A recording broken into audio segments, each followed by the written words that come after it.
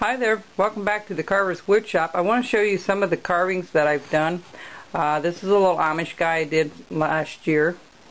And I do chickadees. I do some snowman. That's going to be one of our projects along with the Amishmen later on. Um, I do some duck, ducks, some mallards. Um, let me move some of this out of the way here and I'll show you a couple of the other things that I do. Just to give you an idea, um, here's my flying um, cardinal that I've done some time ago.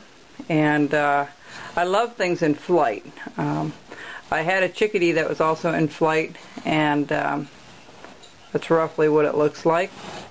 I do a variety of little things. I also um, did a black lab with um, on a dock with uh, some little decoys. Move this out of the way. And this is one of my favorite.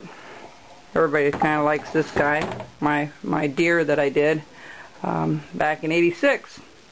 So, and all this is is wood burning that you see here.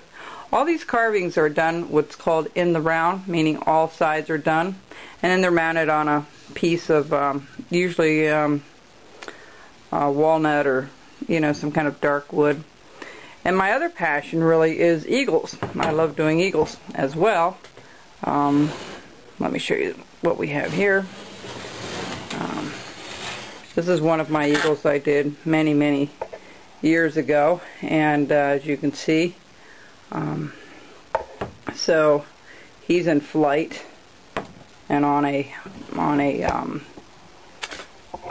on a stand so these are the different types of carvings I do. I do a little bit, mainly the last few years I've been doing just basically Santas and all different kinds of Santas. The one we're doing now is like a gnome Santa.